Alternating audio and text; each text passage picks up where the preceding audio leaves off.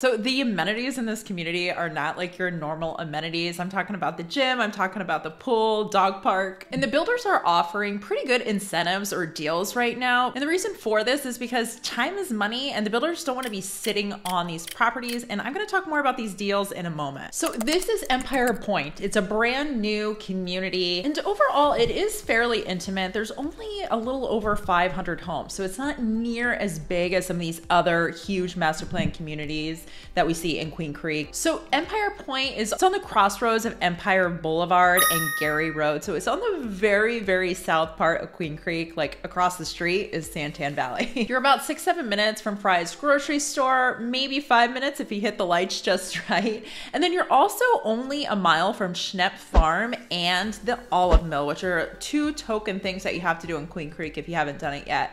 And then the Queen Creek Marketplace, which is our main shopping area in Queen Creek. You got everything there. You got Costco, Trader Joe's, all the good stuff. That's about 10 minutes away from this neighborhood. Now, the one thing I want to highlight about the location, and not just this, not necessarily just of this neighborhood, but of Queen Creek in general, you're pretty far away from a major freeway. 202 is our main major freeway. So it's not easily accessible from, you know, Central Phoenix or even our main airport, Sky Harbor Airport. Um, without traffic, you're looking about 45 to 50 minutes to get to Sky Harbor or downtown Phoenix. Now, this isn't unique to this neighborhood, but more to Queen Creek or Santan Valley in general. As far as schools go, you have Schnepf Elementary School, which is directly north of this neighborhood, super close. And then you have Newell Barney Middle School. And then you're only about a mile and a half from the Crismon High School, which is the third and the newest of all the high schools in Queen Creek, actually. And if you're considering charter schools, Legacy Traditional School is literally right across the street. But let's talk about the amenities in this community because I really think that is what makes this community pretty unique and stand out. Okay, so let's look at this pool right here. I mean, it is absolutely gorgeous. It's very large. There's also a hot tub or what they call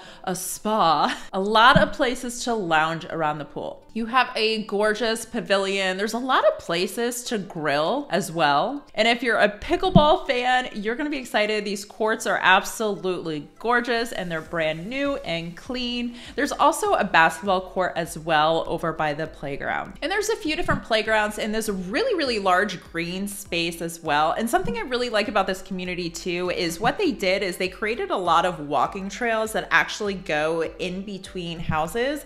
So a lot of the you actually don't have a house directly behind you. So there's a little bit of space. The neighbors aren't directly on top of you. Now, not all the lots have this component, but a fair amount do. Now, my two favorite amenities of this community, the first one is the dog park. I'm a dog lover, if you don't know. And this is a legitimate dog park. It's not like this tiny little run. Your dog is definitely gonna be able to get their zoomies out here, and then they have some dog cleaning and bag stations as well. Other amenity feature that's incredible is the gym. You guys, this is a legit gym. You know, I see a lot of different communities where they highlight they have a gym, but then you go in there and it's like five different dumbbells and a treadmill that doesn't even really work. This one is a, like a, a proper gym. You have Stairmaster, treadmills, there's a rower, a lot of free weights. Um, they do have an assisted squat rack as well. Now, I know what you're probably thinking. You're like, okay, what's the HOA for this neighborhood? And it is $149 currently. So it's not necessarily cheap, but considering that you might not have to pay for a gym membership anymore and then you have access to a pool. I don't necessarily think it's a bad deal. But let's talk about the homes and the prices because that's probably why you're watching this video. Also, if you're finding any of this helpful or informative, please hit that subscribe button, helps me a lot. So this community has three different collections and within each of those collections, there's actually six different floor plans. So you have 18 different floor plans to pick from. Now the collections, they start out a little bit smaller, a little less expensive, and then they progress. So you have Amber, which is the lower or smaller tier. Then you have the Sterling, and then the final one is the Emerald Collection. The majority of the floor plans are going to be single level homes, but there are some two story options as well. So how big are these homes? So the smallest floor plan is 1,775 square feet. And then it does progress all the way up to about 4,000 square feet. So these homes aren't necessarily gonna be like these giant estates, but pretty large. I mean, a 4,000 square foot home has quite a bit of space. So how big are the lots for these homes? So it really depends on the home and the collection and so forth, but for the most part, you're gonna see them in that like high 6,000. So like 67, I think was the smallest lot I saw. And then one of the larger lots was, you know, he reached over 8,000, so like 8,400 square feet. Overall for Queen Creek, this is pretty average. If anything, it's on the slightly larger size for lot size. Now, as far as bedrooms go, you do have three to five bedrooms in the floor plans. There's one floor plan that has five bedrooms, and then they also have a huge loft when you go upstairs. And then there's also a flex room. And when they say flex room, they basically mean it's a bonus room or additional room. Probably doesn't have a closet and may or may not have a door. So this builder has what they call three different elevations. So this is basically the style of the exterior of their home.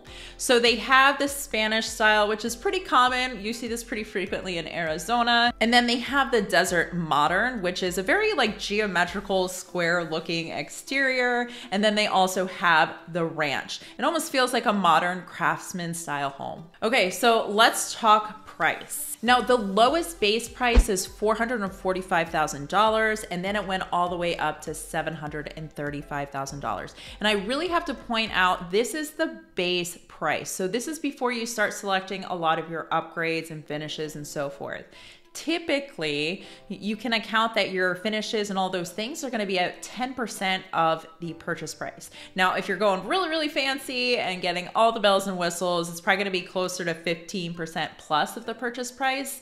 And then if you're doing bare, bare minimal, you might be able to get closer to about 5% of the purchase price, but that could be pretty challenging. So as a quick rule of thumb, that 10% is at least going to get you close to the ballpark rate. So for example, that smallest model that's at 445, you're probably looking at, you know, $500,000, maybe even a little bit more. But that is more related is if you actually went into the builder, you picked your floor plan, all the finishes, and started the home from the ground up, which usually takes about eight to 10 months. But I'm gonna tell you where people are actually finding good deals and new builds. So what this builder has and many other builders in the Phoenix area is they have a handful of move-in ready homes. So these are homes that are ready to go maybe today or maybe in the next two to three months. Now, if these properties are sitting on the market, it's costing the builder money. So they want to motivate buyers to come in and purchase these homes just so they aren't holding on to them. So what they're doing is they're offering incentives for these homes. So this is basically money the builder is giving you to either pay for closing costs